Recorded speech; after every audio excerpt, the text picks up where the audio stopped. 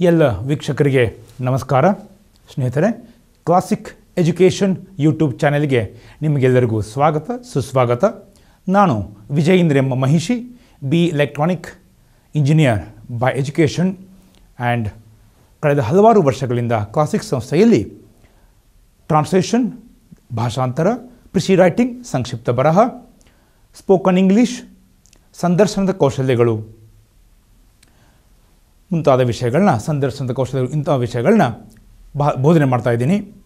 ಸ್ನೇಹಿತರೆ, ಇವತ್ತಿನ ಪಾಠದಲ್ಲಿ ಪದ ಸಂಪತ್ತನ್ನು ಆಸಕ್ತಿಮಯಿಯಿಂದ ಹೆಚ್ಚಿಸಿಕೊಳ್ಳುವ ನಿಟ್ಟಿನಲ್ಲಿ ಬರೀ ಪದ ಸಂಪತ್ತು ಹೆಚ್ಚಿಗೆ ಮಾಡಿಕೊಳ್ಳುವುದು ಒಂದೇ, ವಿತ್ ಇಂಟ್ರೆಸ್ಟಿಂಗ್ ಹೆಚ್ಚಿಗೆ ಮಾಡಿಕೊಳ್ಳುವುದು, ಓಕೆ? ಆ ನಿಟ್ಟಿನಲ್ಲಿ ಕೆಲವೊಂದು ವಿಶೇಷವಾದ ಪದಗಳನ್ನ ಕಲಿಯೋಣ.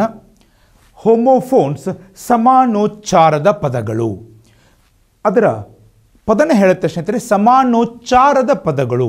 ಉಚ್ಚಾರ ಸೇಮ್ ಇರುತ್ತೆ, ಆದರೆ ಅರ್ಥ ಅರ್ಥ ಬೇರೆ ಇರುತ್ತೆ. ಸೊ ಈ ಹೋಮೋಫೋನ್ಸ್ ಆಧಾರಿತವಾಗಿ qualifying exam compulsory English compulsory Kannada ಅಥವಾ ಅರ್ಥ ಪರೀಕ್ಷೆ ಅಂತ ಏನಿರುತ್ತೆ, ಅದರಲ್ಲಿ ಸಾಕಷ್ಟು ಪ್ರಶ್ನೆಗಳು ಬರ್ತವೆ. ಜೊತೆಗೆ, ಎಷ್ಟು ನಾವು ಪದಗಳನ್ನ ಜಾಸ್ತಿ ಕಲಿತೀವಿ? ಅಷ್ಟು ನಮಗೆ ಭಾಷೆ, ಅದು ಕನ್ನಡ ಇರ್ಬೋದು, ಇಂಗ್ಲೀಷ್ ಇರ್ಬೋದು, ಅದರ ಮೇಲೆ ಪ್ರಭುತ್ವ ಬರುತ್ತೆ. ಹೀಗಾಗಿ ಆದಷ್ಟು ಹೆಚ್ಚಿಗೆ ಪದ ಸಂಪತ್ತನ್ನು ಜಾಸ್ತಿ ಮಾಡ್ಕೊಳ್ಳೋಣ. ಒಂದೇ ನಿಟ್ಟಿನಲ್ಲಿ ಹೋದರೆ, ಓಕೆ, ಸೊ ಏನಪ್ಪ, ಇದೇ ಥರ ನಾವು ಮಾಡಬೇಕಾ ಅಂತ ಅನಿಸುತ್ತೆ. ಆದರೆ ವಿಭಿನ್ನ ತರಹದ, ವಿಶಿಷ್ಟವಾದ ಪದಗಳನ್ನ ಕಲಿತಾ ಹೋದರೆ ಆಸಕ್ತಿ ಜಾಸ್ತಿ ಆಗುತ್ತೆ ಸ್ನೇಹಿತರೆ. ಹೋಮೋಫೋನ್ಸ್ ಇದರ ಡೆಫಿನೇಷನ್ ನೋಡ್ಕೊಳ್ಳೋಣ.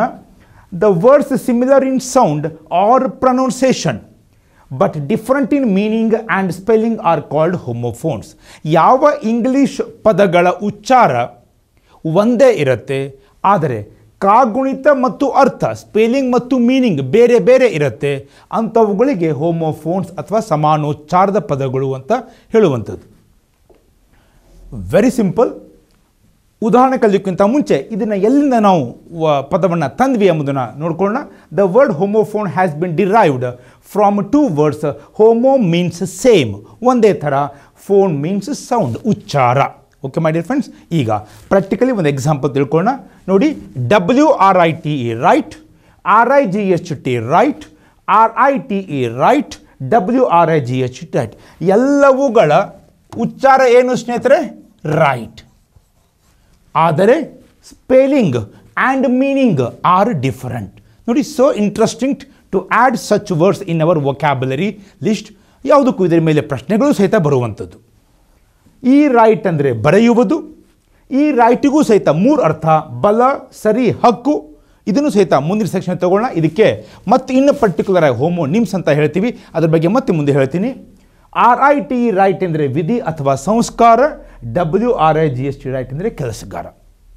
ಸ್ನೇಹಿತರೆ, ಸಾಕಷ್ಟು ಬಾರಿ ಹೇಳಿದ್ದೀನಿ ಒಂದೇ ಪದಕ್ಕೆ ಹಲವಾರು ಅರ್ಥಗಳು, ಒಂದೇ ಪದದ ಉಚ್ಚಾರ ಕೆಲವೊಮ್ಮೆ ಸೇಮ್ ಇರುತ್ತೆ, ಆದರೆ ಸಾಂದರ್ಭಿಕವಾಗಿ ಯಾವ ಪದ ಎಲ್ಲಿ ಬಳಕೆ ಮಾಡಬೇಕು, ಅದನ್ನು ನಾವು ಅರ್ಥ ಮಾಡಿಕೊಂಡು ಅಭ್ಯಾಸ ಮಾಡಿದರೆ ಅದರಲ್ಲಿ ಪರಿಣಿತರಾದರೆ ನಮ್ಮ ವದ ವೊಕ್ಯಾಬರಿ ಬಹಳ ಇಂಪ್ರೂವ್ಮೆಂಟ್ ಆಗುತ್ತೆ. ಅದನ್ನು ನಾವು ಟ್ರಾನ್ಸ್ಲೇಷನ್ದಲ್ಲಿ ವಾಕ್ಯ ರಚನೆಯಲ್ಲಿ, ಅಂದರೆ ಭಾಷಾಂತರ ಸೆಂಟೆನ್ಸ್ ಫಾರ್ಮೇಷನ್ ಕಾಂಪ್ರಿಹೆನ್ಷನ್ ಗ್ರಹಿಸುವಿಕೆಯಲ್ಲಿ, ಅರ್ಥ ಮಾಡುವಿಕೆಯಲ್ಲಿ ಸ್ಪೋಕನ್ ಇಂಗ್ಲೀಷ್ನಲ್ಲಿ ಎಲ್ಲ ಕಡೆಯೂ ಬಳಸ್ಬೋದು ಮಾಡಿ friends okay now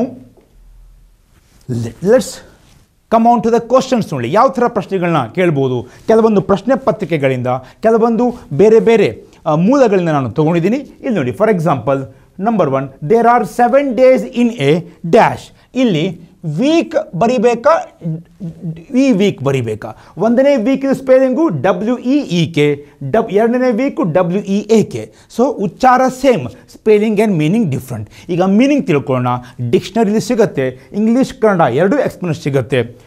ವೀಕ್ ಅಂದರೆ ಡಬ್ಲ್ಯೂ ಇ ಇ ಕೆ ಅಂದರೆ ವಾರ ಅಥವಾ ಸಪ್ತಾಹ, ಅಂದರೆ ಪೀರಿಯಡ್ ಆಫ್ ಸೆವೆನ್ ಡೇಸ್ ಆದರೆ ಡಬ್ಲ್ಯೂ ಇ ಕೆ ವೀಕ್ ಅಂದರೆ ದುರ್ಬಲ, ಬಲಹೀನ, ಮೆತ್ತನೆಯ, ನಿತ್ರಾಣ ಎಟ್ಸೆಟ್ರಾ ಅರ್ಥ? Lacking strength and energy so ಇಲ್ಲಿ ಯಾವುದು ಸೂಟಬಲ್ ಆಗುತ್ತೆ? ಏಳು ದಿನಗಳು ಒಂದು ಡ್ಯಾಶಲ್ಲಿ ಇರುತ್ತವೆ. ಸೊ ಉತ್ತರ ಗೊತ್ತಾಗಿದೆ ಅಂದ್ಕೊಂಡಿದ್ದೀನಿ that is this week so there are seven days in a week ಇದೇ ರೀತಿ ಕೊಟ್ಟಿರ್ತಾರೆ. ಒಂದು ನೀವು ಚಾಯ್ಸ್ ಮಾಡಬೇಕು. Okay so that is will be the right answer right so ಇಲ್ಲಿ ವೀಕ್ ಅಂದರೆ ಸಪ್ತಾಹ, ವಾರ ಇರೋದ್ರಿಂದ this is a right answer my dear friends okay next move on to the next question it's very interesting a robot needs more than one O A R oar O R E ore ಉಚ್ಚಾರ same meaning and spelling are different ಇನ್ನು ಅರ್ಥ ಮಾಡ್ಕೊಳ್ಳೋಣ ಓ A R or ಅಂತಂದರೆ ದೋಣಿ ನಡೆಸುವವನ ಹುಟ್ಟುಗೋಲು, ಹುಟಿ ಅಂತ ಹೇಳ್ತೀವಿ okay ಅಂದರೆ ಸ್ಟಿರ್ರಿಂಗ್ pole. ನೀವು ನೋಡಿರ್ಬೋದು, ಆ ಎರಡೂ ಕೋಲ್ಗಳನ್ನ ಈ ರೀತಿ ಅವನು ನೀರಲ್ಲಿ ಆಡಿಸ್ತಾ ಆಡಿಸ್ತಾ ದೋಣಿ ಮುಂದೆ ಹೋಗ್ತಾನೆ. ನಿಮಗೆ ಗೊತ್ತಾ ಆಗಿಬಿಟ್ಟಿದೆ. ಆದರೆ ಇನ್ನೊಂದು ಅರ್ಥ ತಿಳ್ಕೊಂಡ ಓ ಆರ್ ಇ ಓರ್ ಅಂದರೆ ಏನು? ಅದಿರು, ಅಶೋಧಿತ ಧಾತು. That is a native mineral from from which metal is extracted ಇದು ಅದಿರು, ಇದು ದೋಣಿ ನಡೆಸುವವನ ಹುಟ್ಟುಗೋಲು. ಸೊ ಇಲ್ಲಿ ಏನು ಬೇಕಾಗಿದೆ? ರೋಬೋಟ್ ಓಕೆ ಸಾಲು ದೋಣಿ ಅಥವಾ ದೋಣಿ ಅಂತ ಹೇಳ್ತೀವಿ. ಸಾ ದೋಣಿಗೆ ಏನು ಬೇಕು? ಒಂದಕ್ಕಿಂತ ಜಾಸ್ತಿ ಹುಟ್ಟುಗೋಲುಗಳು ಬೇಕು. ಹೀಗಾಗಿ ಇಲ್ಲಿ ಯಾವ ಓರ್ ಆಗುತ್ತೆ ಸ್ನೇಹಿತರೆ? O, A, R, O. ಇದನ್ನು ಈ ಒಂದು ಬ ಪದವನ್ನು ಅಲ್ಲಿ ಬಳಸುವಂಥದ್ದು. Right so these are called homophones next my dear friends third one travellers should be careful not to dash their belongings at crowded places.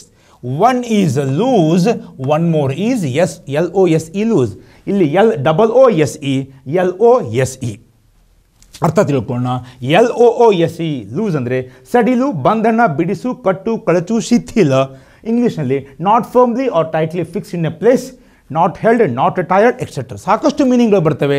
ಇನ್ನು ಮುಂದೆ ನಾನು ಒಂದು ಅಥವಾ ಎರಡು ಮಾತ್ರ ಹೇಳ್ತೀನಿ ಓಕೆ ಬಟ್ ಈ ರೀತಿ ನೀವು ಪಟ್ಟಿ ಮಾಡಿಕೊಂಡು ಮೇಲಿಂದ ಮೇಲೆ ಪುನರ್ಮರಣ ಮಾಡ್ತಾ ಹೋದರೆ definitely you can be perfect in all types of vocabulary ಇನ್ನು ಇನ್ನೊಂದು ಲೂಸ್ ಅಂದರೆ ಕಳೆದುಕೊಳ್ಳು, ಹೋಗಲಾಡಿಸಿಕೋ, ಸೋಲು, ನಷ್ಟವೊಂದು. ಇಲ್ಲಿ ಅರ್ಥ ಮಾಡ್ಕೊಳ್ಳೋಣ ಟ್ರಾವೆಲರ್ಸ್ ಅಂದರೆ ಪ್ರಯಾಣಿಕರು ಶುಡ್ ಬಿ ಕೇರ್ಫುಲ್ ಕಾಳಜಿಯಿಂದ ಇರಬೇಕು ನಾಟ್ ಟು ಅದನ್ನು ಆಗಬಾರ್ದು. ಏನಾಗಬಾರ್ದು ಈ ಲೂಸ ಈ ಲೂಸ ಓಕೆ ಗೊತ್ತಾಗುತ್ತೆ.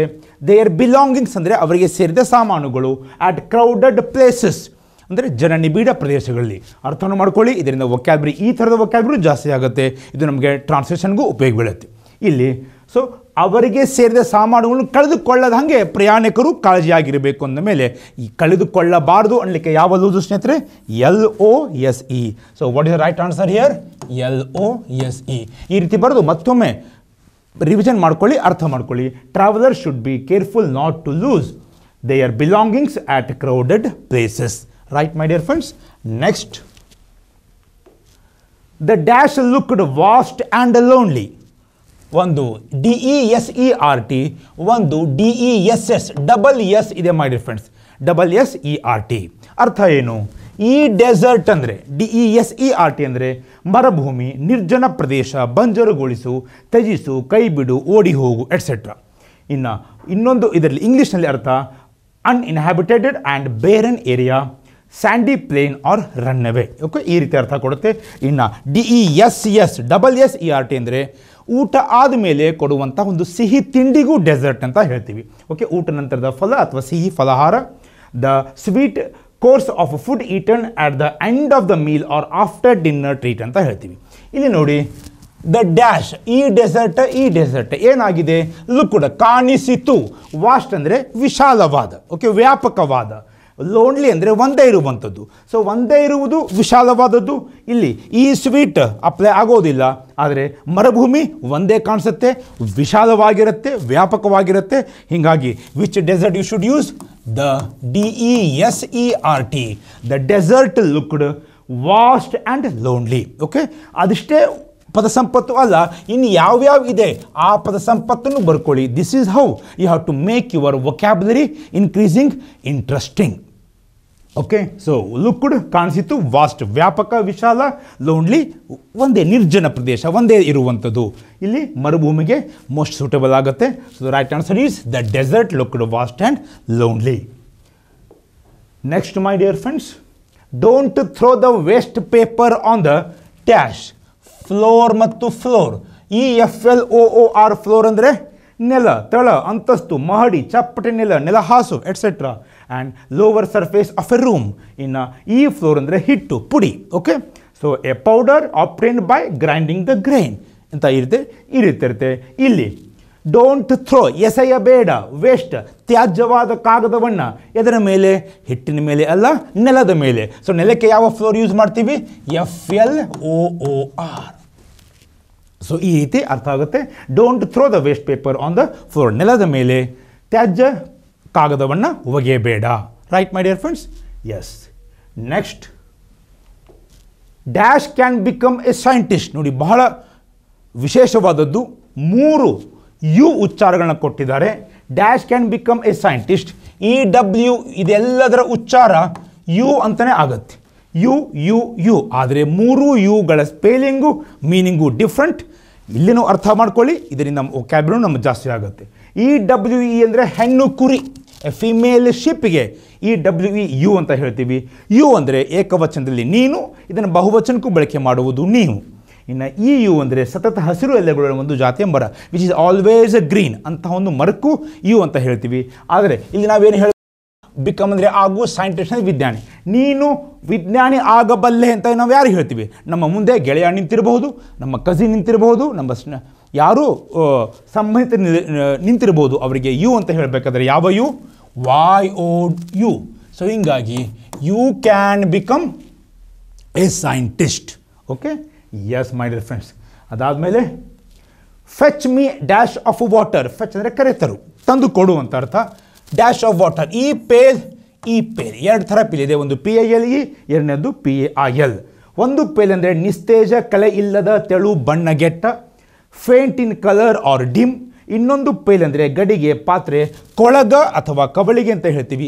ಬಕೆಟ್ ಥರ ಇರುವಂಥದ್ದು. ಓಕೆ ಎ ಬಕೆಟ್ ಇಲ್ಲಿ ನೀರನ್ನು ನಾವು ಎದರಲ್ಲಿ ತರ್ತೀವಿ? ಓಕೆ ಇಲ್ಲಿ ಕವಳಿಗೆ ಅಥವಾ ಕೊಳಗ ಯೂಸ್ ಮಾಡ್ಬೋದು. ಅದಕ್ಕೆ ಯಾವ ಪೇಲ್ ಯೂಸ್ ಮಾಡ್ತೀವಿ? ದಿಸ್ ಪೇಲ್ ಹೀಗಾಗಿ ನನಗೆ ಒಂದು ಕೊಳಗದಷ್ಟು ನೀರನ್ನು ತಂದು ಕೊಡು ಅಂತ ಹೇಳುವುದರಲ್ಲಿ fetch me a pail of water P A I L is a answer my dear friends ಅದಾದಮೇಲೆ the system of following dash at public places should be enforced strictly ಒಂದು ಕ್ಯೂ ಸಿ ಯು ಇ ಇನ್ನೊಂದು C Q U E V ಅರ್ಥ ಏನು? C you you ಅಂದರೆ ಬಾಲ ಜುಟ್ಟು ಚಂಡಿಕೆ. ಕೂದಲಕ್ಕೆ ಇರುವಂಥದ್ದು. ಇನ್ನೊಂದು ಕ್ಯೂ ಅಂತಂದರೆ ಕಾದಿರುವ ಜಾಣರ ಸಾಲು ಸಾಲಾಗಿ ಹೋಗುವಂಥದ್ದು. ಈಗ ಪಬ್ಲಿಕ್ ಪ್ಲೇಸ್ಗಳಲ್ಲಿ ಓಕೆ ಸಾರ್ವಜನಿಕ ಕ್ಷೇತ್ರಗಳಲ್ಲಿ ಒಬ್ಬರಿಂದನೇ ಹೋಗುವಂಥ ಒಂದು ಪದ್ಧತಿ ಏನಾಗಬೇಕಾಗಿದೆ? ಜಾರಿಗೆ ತರಬೇಕಾಗಿದೆ, ಕಟ್ಟುನಿಟ್ಟಾಗಿ ಅಂತ ಹೇಳ್ತಾ ಇದ್ದಾರೆ. ಅಲ್ಲಿ ಸಾಲಾಗಿ ನಿಲ್ತರೆ ಗದ್ದಲ ಆಗೋದಿಲ್ಲ. ಹೀಗಾಗಿ ಇಲ್ಲೇ ಯಾವ queue? Q U E U E spelling important ಸ್ನೇಹಿತರೆ, ಉಚ್ಚಾರ ಇಂಪಾರ್ಟೆಂಟ್ ರೈಟ್ ಅದಾದಮೇಲೆ next let us take our children to the zoo to show them the golden deer ಈ ಡಿಯರ್ ಅಂದರೆ ಏನು? ಈ ಡಿಯರ್ ಅಂದರೆ ಏನು? ಈ ಡಿಯರ್ ಅಂದರೆ ಜಿಂಕೆ ಈ ಡಿಯರ್ ಅಂದರೆ ಪ್ರೀತಿಯ. ಡಿಯರ್ ಫ್ರೆಂಡ್ಸ್ ಪ್ರೀತಿಯ ಆ, ಸ್ನೇಹಿತರೆ. ಈ ಡಿಯರ್ ಅಂದರೆ ಜಿಂಕೆ. ಸೊ ಜುವಾಲಜಿಕಲ್ ಪಾರ್ಕಿಗೆ ಅಂದರೆ ಪ್ರಾಣಿ ಸಂಗ್ರಹಾಲಯಕ್ಕೆ ಪ್ರಾಣಿನೇ ಇರುತ್ತೆ. ಹೀಗಾಗಿ ಇಲ್ಲಿ ಯಾವ? Deer D E E R right Yes, my dear friends. Next, it's illegal to travel in the train or bus without paying the fare. F A R E fare, F A I R fare. Okay ಇಲ್ಲಿಗೆ ಅಂದರೆ ನ್ಯಾಯಸಮ್ಮತವಲ್ಲದ್ದು okay bus ಅಥವಾ ರೈಲುಗಳಲ್ಲಿ ಇದು ಇಲ್ಲದೆ ಹೋಗುವುದು okay illegal ಅಥವಾ ನ್ಯಾಯಸಮ್ಮತವಾದ ಅಲ್ಲ ಅಂತ ಹೇಳ್ತಾ ಇದ್ದಾರೆ. ಇ ಎಫ್ ಎ ಆರ್ ಅಂದರೆ ಶುಲ್ಕ, ಬಾಡಿಗೆ ಪ್ರಯಾಣ ಶುಲ್ಕ. ಅರ್ಥ ಗೊತ್ತಾಗ್ಬಿಡ್ತು. ಈ ಫೇರ್ ಅಂದರೆ ಒಂದು ನ್ಯಾಯೋಚಿತ, ನ್ಯಾಯವಾದ, ಸುಂದರವಾದ ಇನ್ನೊಂದು ಜಾತ್ರೆ ಅಂತಲೂ ಹೇಳ್ತೀವಿ. ಸೊ ಇಲ್ಲಿ ಶುಲ್ಕ ಅಥವಾ ಪ್ರಯಾಣ ಶುಲ್ಕಕ್ಕೆ ಏನು ಹೇಳ್ತೀವಿ? ಟ್ರೈನ್ ಅಥವಾ ಬಸ್ಸಲ್ಲಿ ಎಫ್ ಎ ಆರ್ ಇ ಈ ಫೇರನ್ನು ಯೂಸ್ ಮಾಡುವಂಥದ್ದು. ಓಕೆ ಮಾಡಿ ಫ್ರೆಂಡ್ಸ್ ಇನ್ನು ಟೈಪ್ ಟು ನೋಡೋಣ. Choose the correct homophone and write in the blank space I dash that Ramesh would wear dash dress okay K N E W ಅಂದರೆ ತಿಳಿದಿದ್ದೆ. Know ಇದರ ಪಾಸ್ಟನ್ form new ಇದು new ಅಂದರೆ ಹೊಸ. ಎರಡು ಉಚ್ಚಾರ ನ್ಯೂನೇ ಆಗುತ್ತೆ. ಆದರೆ ಸ್ಪೆಲ್ಲಿಂಗು ಅರ್ಥ ಬೇರೆ ಬೇರೆ ಆಗುತ್ತೆ. ಓಕೆ ವಿಯರ್ ಅಂದರೆ ಧರಿಸು. ಹೊಸ ಏನು ಧರಿಸ್ತಾನೆ ಅವನು? ಡ್ರೆಸ್ ಹೀಗಾಗಿ ಇಲ್ಲಿ new dress N E W ನಾನು ತಿಳಿದಿದ್ದೆ. ಕೆ ಎನ್ ಇ ಡಬ್ಲ್ಯೂ ನಾನು ತಿಳಿದಿದ್ದೆ ರಮೇಶ ಹೊಸ ಉಡುಪನ್ನು ಧರಿಸುತ್ತಾನೆಂದು. I knew that Ramesh would wear new dress first K N E W next N E W okay next sit dash and dash the devotional music here and here ಈ here ಅಂದರೆ ಕೇಳು, ಆಲಿಸು. ಈ here ಅಂದರೆ ಇಲ್ಲಿ. So ಇಲ್ಲಿ ಕುಳಿತುಕೋ devotional music ಅಂದರೆ ಭಕ್ತಿ ಸಂಗೀತವನ್ನು ಕೇಳು. ಹೀಗಾಗಿ, ಇಲ್ಲಿ H E A R sit here H E R E ಇಲ್ಲಿ ಕುಳಿತುಕೋ ಮತ್ತು ಭಕ್ತಿ ಸಂಗೀತವನ್ನು ಕೇಳು. ಈ ರೀತಿ ಮಾಡಿರಿ ಫ್ರೆಂಡ್ಸ್ ಇನ್ನು ಟೈಪ್ ತ್ರೀಗೆ ಒಂದು ಹೋಗೋಣ. Identify the homophones add this educational ad in the news paper ಯಾವ್ದು ಯಾವ್ದು ಇಲ್ಲಿ? ನೋಡಿ, ಮೂರು ಥರದ ನಿಮಗೆ ಕ್ವಶನ್ಸನ್ನು ತೋರಿಸ್ತಾ ಇದ್ದೀನಿ. ಇಲ್ಲಿ ಆ್ಯಡ್ ಮತ್ತು ಈ ಆ್ಯಡು ಅಡ್ವರ್ಟೈಸ್ಮೆಂಟ್ ಇದರ ಶಾರ್ಟ್ ಫಾರ್ಮ್ ಜಾಹೀರಾತು. ಓಕೆ ಹೀಗಾಗಿ, ಬರೀ ಐಡೆಂಟಿಫೈಡ್ ಇದ್ದಾರೆ ಓಕೆ ಆ್ಯಡ್ ಮತ್ತು ಆ್ಯಡ್ ಸೇರಿಸು ಈ ಶೈಕ್ಷಣಿಕ ಜಾಹೀರಾತನ್ನು ವರ್ತಮಾನ ಪತ್ರಿಕೆಯಲ್ಲಿ. We are not allowed to read aloud in the library ಉಚ್ಚಾರ ಒಂದೇ ಇರುವಂಥ ವರ್ಡ್ಗಳು ಯಾವ ಸ್ನೇಹಿತರೆ? ಒಂದು ಅಲೌಡ್ ಇನ್ನೊಂದು ಅಲೌಡ್ ಇಲ್ಲಿ ಅಲೌಡ್ ಅಂದರೆ ಪರವಾನಗಿ ಇಲ್ಲ, ಇಲ್ಲಿ ಅಲೌಡ್ ಅಂದರೆ ಜೋರಾಗಿ. ಗ್ರಂಥಾಲಯದಲ್ಲಿ ನಾವು ಜೋರಾಗಿ ಮಾತನಾಡುವುದು ಪರವಾನಿಗೆ ಇಲ್ಲ. ಓಕೆ ಮಾಡಿರ friends allowed and aloud are the homophones sea the ship sailing in the sea ಒಂದು ಸಿ ನೋಡು, ಇನ್ನೊಂದು ಸಿ ಸಮುದ್ರ. These are the two homophones okay so ಸಮುದ್ರದಲ್ಲಿ ಹಡಗು ತೇಲ್ತಿರೋದನ್ನು ನೋಡು. Don't be near the tree as it has a bee hive bee ಮತ್ತು be ಈ ಬಿ ಅಂದರೆ ಇರು ಓಕೆ ಈ ಬಿ ಅಂದರೆ ಜೇನು ಹೈವ್ ಅಂದರೆ ಗೂಡು. ಸೊ ಜೇನುಗೂಡು ಹತ್ತಿರ ಇರ ಇರಬೇಡ. ಆ ಮರದ ಹತ್ತಿರ ಇರಬೇಡ, ಅಲ್ಲಿ ಜೇನುಗೂಡು ಇದೆ. So this bee and this be these are the homophones next S bad friends so this is how you have to become expert in homophones ಈ ರೀತಿ ಹೆಚ್ಚಿಗೆ ಹೆಚ್ಚಿಗೆ ಹೋಮೋಫೋನ್ಸನ್ನು ಲಿಸ್ಟ್ ಮಾಡ್ತಾ ಇರಿ. ಇದು translation precis writing composition plus mains qualify ಎಕ್ಸಾಮ್ಗೆ ಬಹಳ ಉಪಯೋಗವಾಗುವಂಥದ್ದು. ಓಕೆ ಕೆಲವೊಂದು ಮಾತು ನಿಮಗೆ ತೋರಿಸ್ತೀನಿ. ಮತ್ತು ನೆಕ್ಸ್ಟ್ ಕ್ಲಾಸಲ್ಲಿ ನಿಮಗೆ ಇನ್ನೊಂದು ವಿಷಯದ ಬಗ್ಗೆ ಹೋಮೋನಿಮ್ಸ್ ಮತ್ತು ಬೇರೆ ಬೇರೆ ವರ್ಬ್ಸ್ ಬಗ್ಗೆ ಹೇಳಿಕೆ ಬರ್ತೀನಿ. All the best see you ನಮ್ಮ ಕ್ಲಾಸಿಕ್ ಎಜುಕೇಷನ್ ಚಾನಲನ್ನು ಸಬ್ಸ್ಕ್ರೈಬ್ ಮಾಡಿ ನೋಡ್ತಾ ಇರಿ. All the best see you thank you very much